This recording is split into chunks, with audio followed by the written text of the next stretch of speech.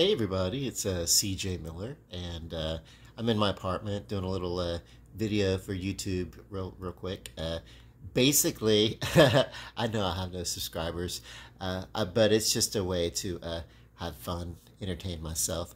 I do always like to talk about my love of Shreveport, Louisiana uh, in Bossier City, uh, the, the metro area that is my home, that I proudly call home.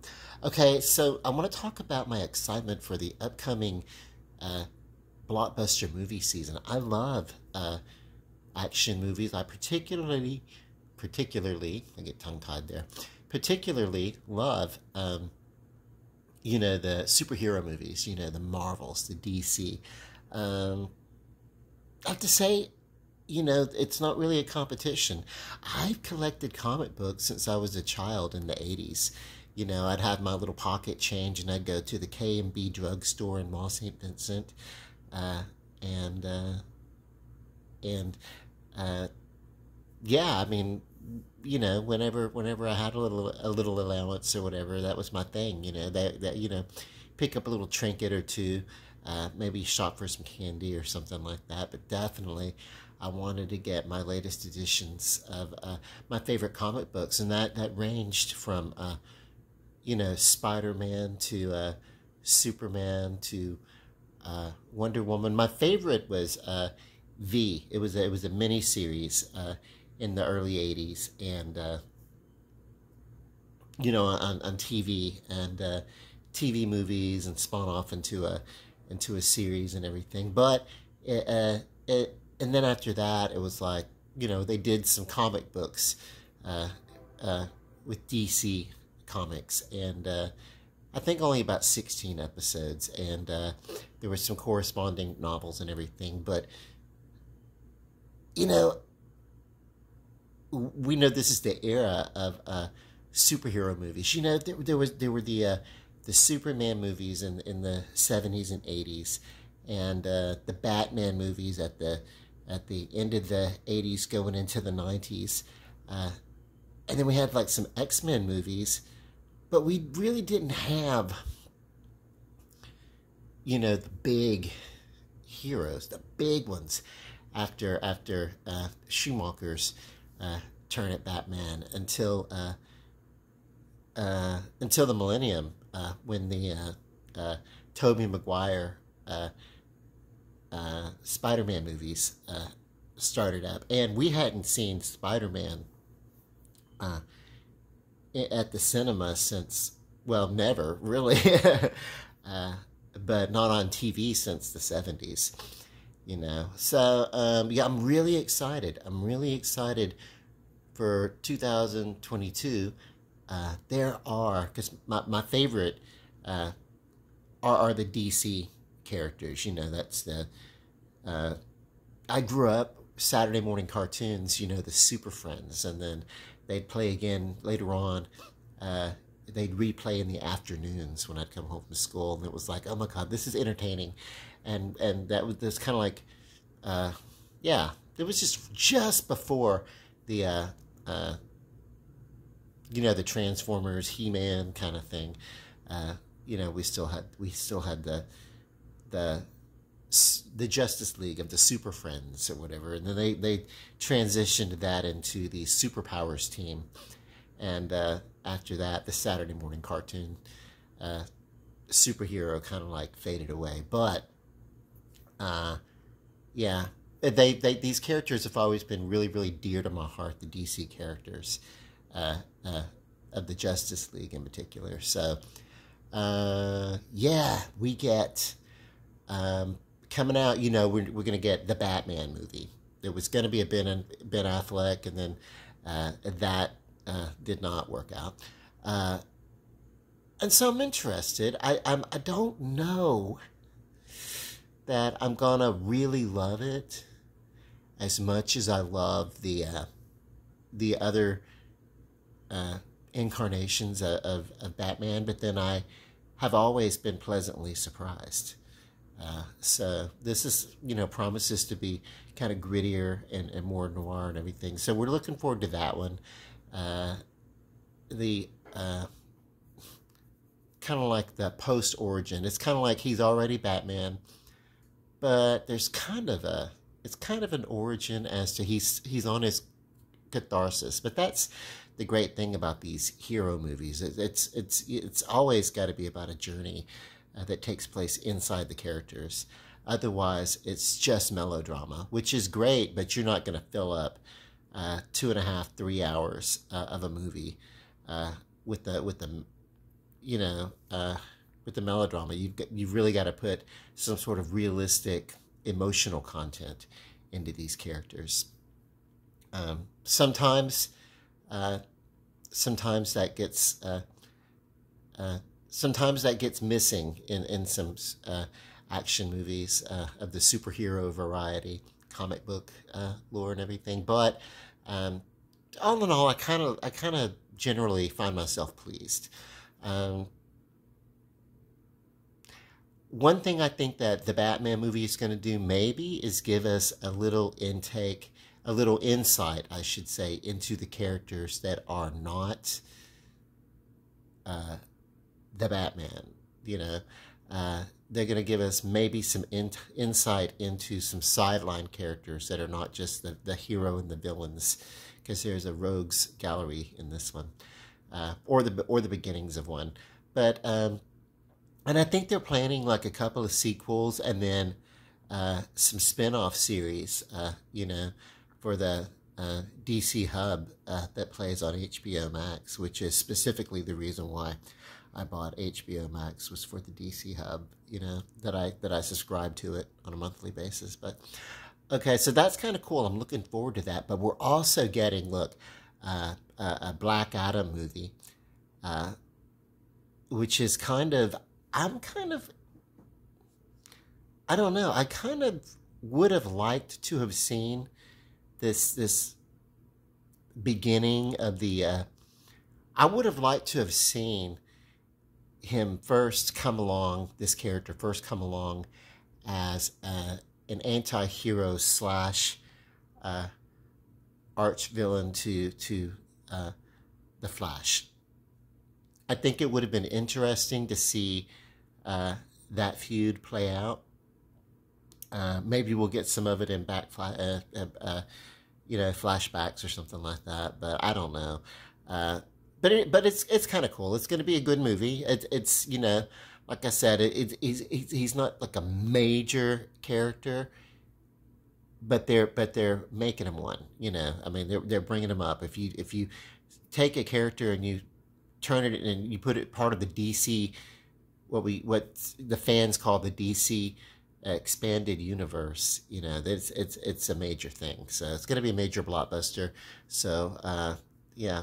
Um, one one that's really gonna have have us fans really looking forward to uh, the 2022 movie season is The Flash, which is which is coming up uh, this year, uh, which has been a long time coming. Uh, they've been talking about this one since like uh, Batman versus Superman, which is like uh, maybe four or five years after Man of Steel. in, in, in the delivery to the theaters, uh, it, it begins actually maybe 18 months after the events of uh, Man of Steel. But, uh, but then, so anyway, this is the one that's really going to, we're starting to get mention of uh, the multiverse, which we hear that in, you know, I know that the Marvel movies have been addressing this first, but, uh, you know, and DC did not introduce the concept uh, in the 1980s in the comic books. That's that's a multi-dimensional multiverse kind of thing. That that's something that's been uh, theorized in uh, you know theoretical physics uh, like forever for as long as people have been able to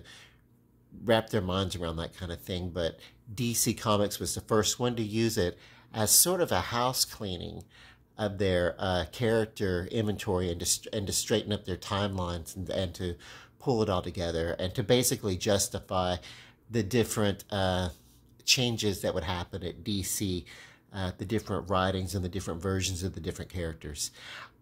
I maybe maybe I could look back then and I could say, you know, maybe it wasn't necessarily well crucial to to I mean, the readers, you don't really have to explain to the readers uh, that hey, different uh, writers are going to have different interpretations, but they wanted to do a cleaning up at DC in, in the in the 1985 1986 season, and so everything that happened was a Crisis on Infinite Earths, or it was a Crisis on Infinite Earths tie-in, and it was a big, massive thing. It was great. I, I devoured as many issues as I could. Uh, I wasn't too thrilled with the CW Arrowverse uh, inter- interpretation of it, but you know, it was fun. I watched it. I watched shows uh, that I don't normally watch, uh, just so I could tune in to tie-ins uh, with what was going on, the the different crossovers. But um, and so uh, during during that we got a, a cameo of uh, Ezra Miller's Flash uh, meeting up with the CW Flash show. You know, it was kind of cool. Uh, I'm really excited for this Flash movie because it, this is kind of do it. He's he, you know he's gonna you know uh, try to uh, retcon by going going uh, through time to to solve the the murder of his mother, the death of his mother, and to clear his father's name. I think that's the motivation. And then from there, we don't know what all, but it's going to be really big and important to the DCEU.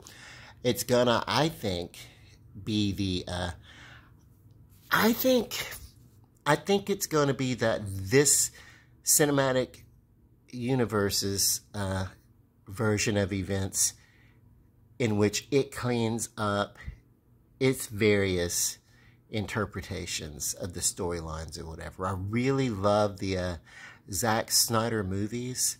Uh, they kind of started. They kind of started this out. This whole like uh, unofficial expanded universe, and we wouldn't have the DC movies today without Zack Snyder. Uh, and really, with uh, you know, the, it, it, for me, it kind of started with the uh, I want to say the Dark Knight trilogy uh, of the Batman. Batman Begins, The Dark Knight, and The Dark Knight Rises. I think those are the three that kind of started this tone uh, of of the darker, grittier, uh, more realistic view of the of the hero. Without that, we wouldn't have even gotten the the Joker movie, which was uh, unofficially not part of the extended universe.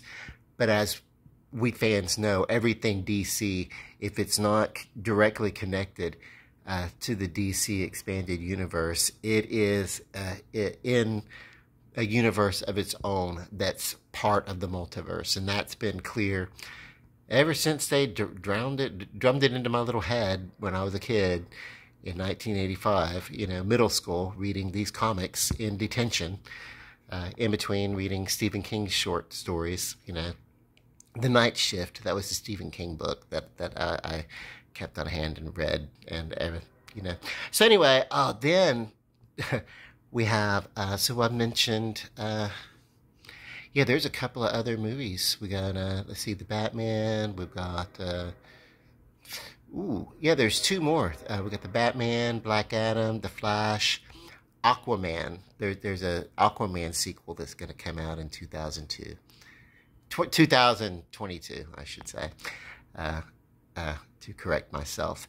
2022. I loved the first Aquaman movie, the first Aquaman standalone movie. It was uh, within the DC universe. It, it, referenced the events of Justice League. Um,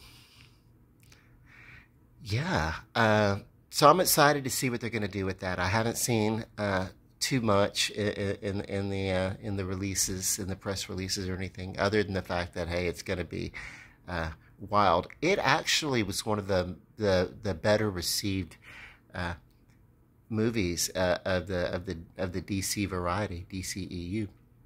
Um, you know, critics don't necessarily love these movies.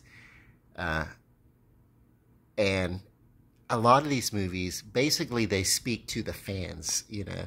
So it's it's those of us who are fans of the characters we're the one keeping we're the ones keeping these movies uh, alive and everything like that. So when it when when it's right it's right. And when it's not right we we don't mind saying so. But even then we usually love that there's a movie even if even if there's some flaw in it.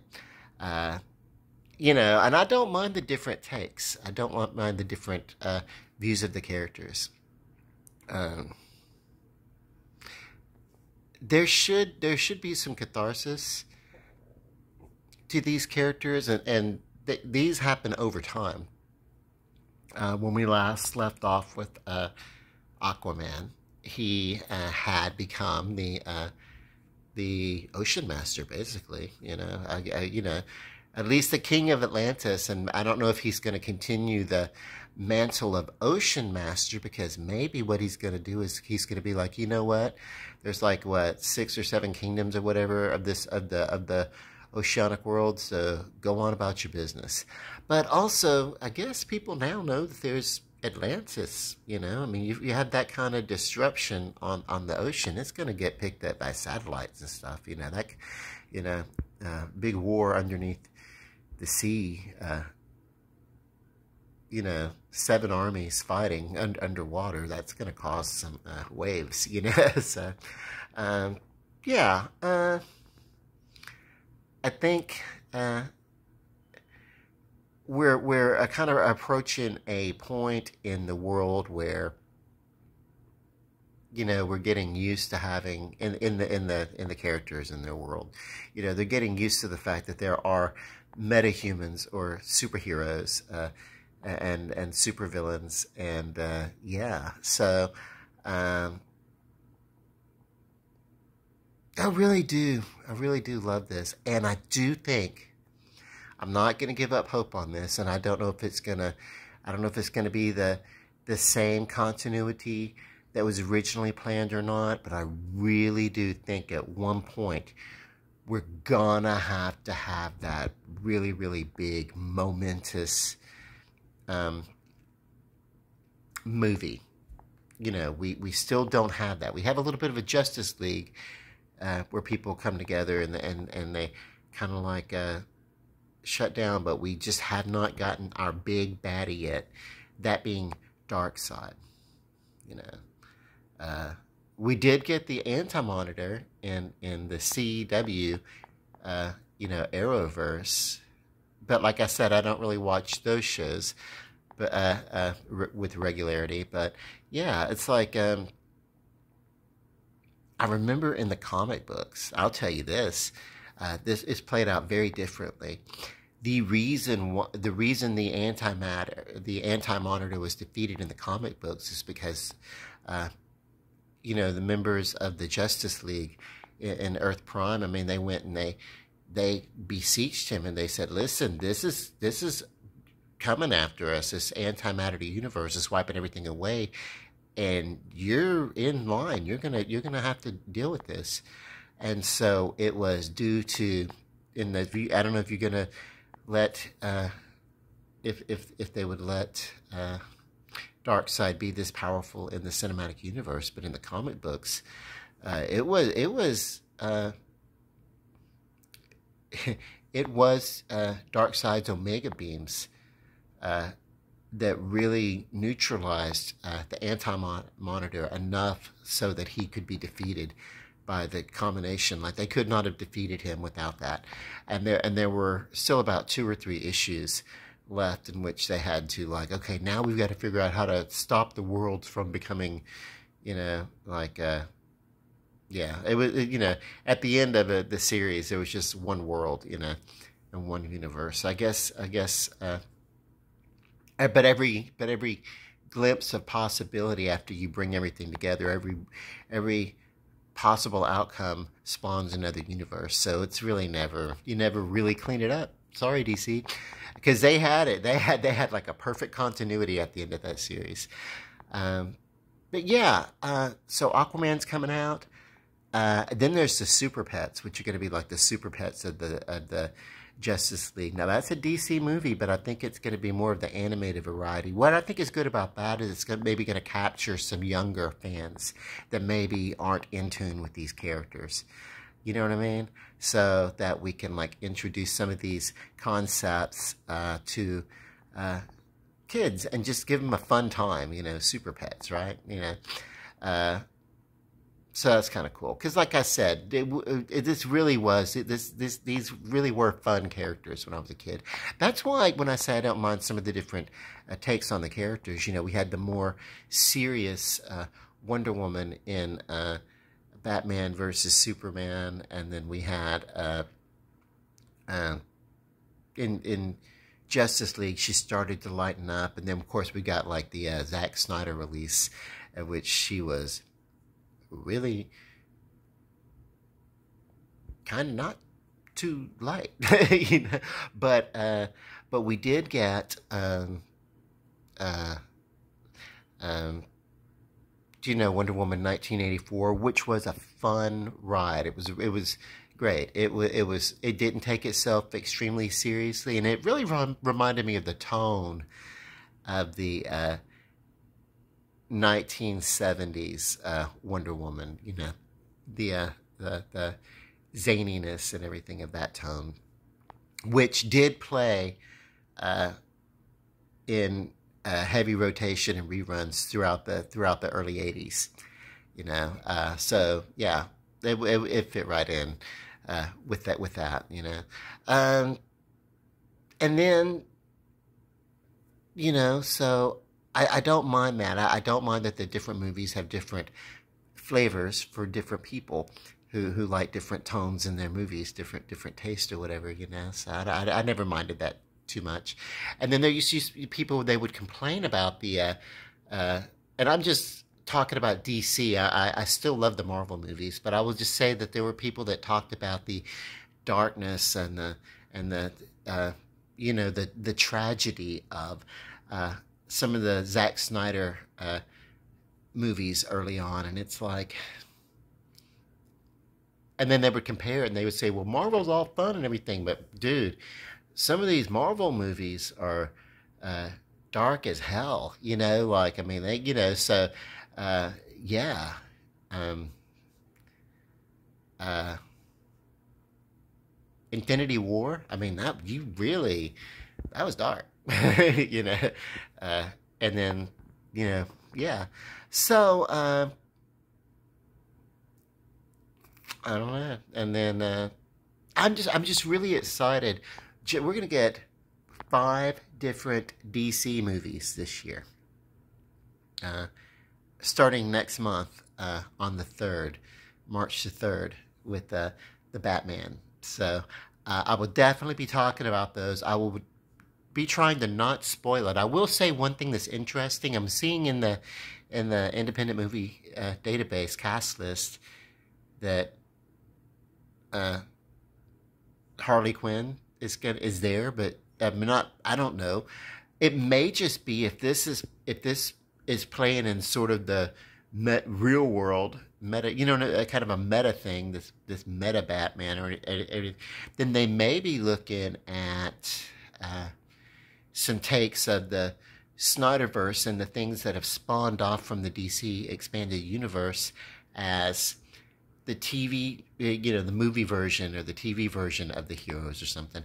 This is not something that's that's not been done before. John Carpenter did this uh, with the Halloween movie, uh, and then uh, of course uh, Halloween, and then uh, then uh, Dana Hill and they all went on to make Halloween 2 in 1981 or, you know, somewhere around there. And that was great. But then it came time to do the third movie, and I think they they did Season of the Witch. And what they wanted to do is they wanted to turn this into an anthology uh, movie series, and uh, it did not work because we were expecting, you know, the slasher Michael Myers. What happened in this movie though, Season of the Witch, uh, and check it, it's a movie that's great in its own right, but it's not the Michael Myers slasher movie that we expected. but what happened was this Halloween night, there was going to be like a major thing, like a major promotion with the Halloween mask, the Silver Shamrock Halloween mask.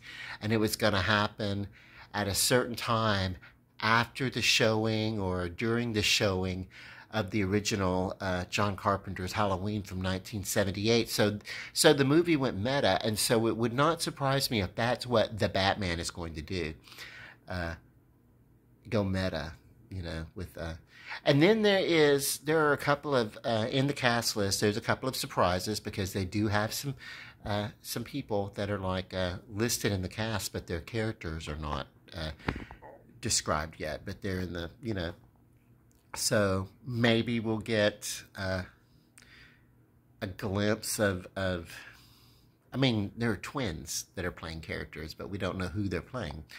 Uh, and so maybe they'll be, they'll be playing associates of Two Face, who's not necessarily mentioned.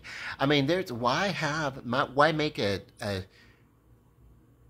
nearly a three hour movie, two and a half to three hour movie, and, and feature just one or two challenges. So we got Falcone, who's going to be he's a villain uh, for Batman. He's not he's not a super villain, but he he's, he's you know if you want to think about it in Gotham, that the they're trying to you know stop crime in Gotham. You know, uh, you know Batman and, and his cohorts and everything. So uh, really, the the organized crime and the and the crime bosses and everything they are the villains. They are the big villains. You know. And uh, even if they're not super villains or they don't have the they don't have the the you know yeah I you know uh, you know it's it's just interesting. It's interesting to me. I love this. I love that this is going to take like a detective noir look. They're looking primarily in here at the Riddler who's going to be the big baddie again, a guy who, who's not fraught with super superpowers, but neither is Batman. He's just got a lot of cool toys, you know. As was said in uh, 1989, uh, Batman, Jack Nicholson's uh, uh, Joker was like, where does he get those marvelous toys or wonderful toys or whatever whatever the line was? I don't know. So anyway, uh, yeah, I'm super psyched, super excited.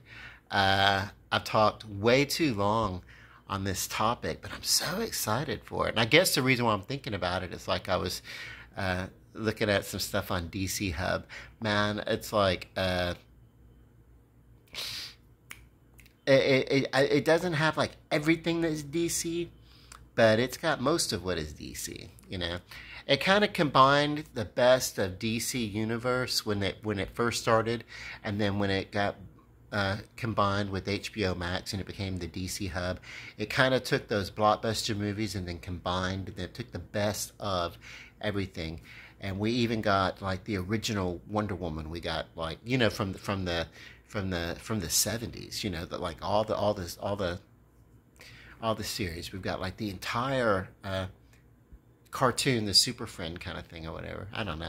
I'm just in a DC Comics uh, frame of mind, DC hero frame of mind, because I know in two weeks I will be sitting in a theater watching the Batman with the, with some with some cautious optimism, but then I'm usually surprised and I'm usually given a, a thrill ride at these movies, and I usually love them, even as even as uh, professional movie critics kind of come down to them, you know. And then there are some people who just like uh, pander and and they'll like tell the fans whatever we want to hear. But uh, honestly, the fact of the matter is, these movies are entertainment, and they can be tools to to address things, but they're really entertainment, and uh, even even art, the highest art, uh, is there for us to enjoy. I'm not. I'm not saying these movies are on the level of, uh, say, uh, Mona Lisa, you know, hanging, hanging, hanging in, in, the Louvre somewhere or something like that. If if that's where it is, you know, it's like. Um, but maybe in a way, yeah. I mean, they, they put as much work into to, to making these movies as they would into making the the the greatest, uh, uh, you know, uh, sculptures, you know. So, uh, yeah, um, ultimately, to convey messages and everything like that, there's always subtext in, in everything. There, there's always subtext, but the but the primary reason these things exist um, art, uh, novels, great books, movies, comic books, all of it. Uh, the primary reason it's there is so that we can be entertained and find some enjoyment, you know, and uh, in, in, in, these characters and kind of fall in love with them and be taken away into a little fantasy world. And it's fun, it's some escapism.